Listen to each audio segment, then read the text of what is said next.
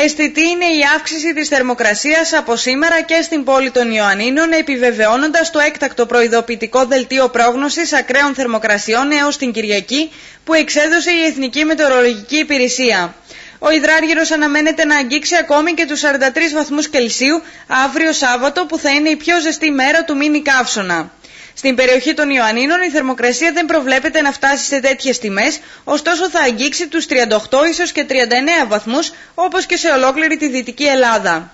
Το Σαββατοκύριακο αυτό είναι ίσως μία από τις καλύτερες ευκαιρίες για εξορμήσεις στην παραλία, αφού όσοι παραμείνουν στα αστικά κέντρα θα πρέπει να αναζητήσουν οάσεις δροσιάς για να προστατευτούν από τις υψηλές θερμοκρασίες. Απαραίτητα αξεσουάρ είναι τα μπουκαλάκια με το νερό, τα καπέλα και η ένδυση με ελαφρά ρούχα, κυρίως για τις ευπαθείς ομάδες που θα πρέπει να αποφεύγουν όσο το δυνατόν περισσότερο την πολύωρη έκθεση στον ήλιο. Τα βρέφη, τα παιδιά και τα άτομα άνω των 65 ετών θα πρέπει να λάβουν περισσότερα μέτρα, ενώ στις ευπαθείς ομάδες, σύμφωνα με τον αρμόδιο αντινομάρχη Σπύρο Νίκα, περιλαμβάνονται τα άτομα με χρόνιες παθήσεις, οι εγκυμονούσες καθώς και οι εργαζόμενοι σε ανοιχτούς χώρους.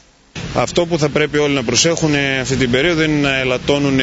κατά το δυνατόν την ε, χρονική διάρκεια της έκθεσής τους στον ήλιο, να φροντίζουν να είναι σε μέρη με σκιά και όσο το δυνατόν πιο δροσερά γίνεται ή εν ανάγκη να σταματούν να διακόπτουν και την εργασία τους στις ε, ώρες όπου ο ήλιος βρίσκεται στην χειρότερη θέση για τις βλάβες που μπορεί να προκαλέσει, δηλαδή από τις 12 το μεσημέρι μέχρι και τις 4 ε, το νωρίς το απόγευμα. Ε, να πίνουν πάρα πολλά υγρά γιατί υπάρχει ο κίνδυνος αφυδάτωσης και επιπλέον να αποφεύγουν το αλκοόλ, να αποφεύγουν τα βαριά φαγητά,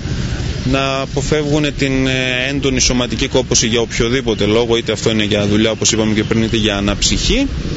ενώ επίσης καλό είναι για όσους έχουν τη δυνατότητα να φροντίζουν να βρίσκονται σε ένα δροσερό περιβάλλον, είτε στο σπίτι τους άμα διαθέτουν air condition, του οποίου δεν θα πρέπει να γίνεται κατάχρηση, αλλά σε λογικά πλαίσια, ή στους χώρους που έχουν προβλεφθεί, όπως στα ΚΑΠΗ, όπως σε διάφορες δημόσιες χώρους που έχει προβλεφθεί να υπάρχει, κυρίως είναι αυτό αφορά τους ηλικιωμένους αλλά και τους χρονίου πάσχοντες.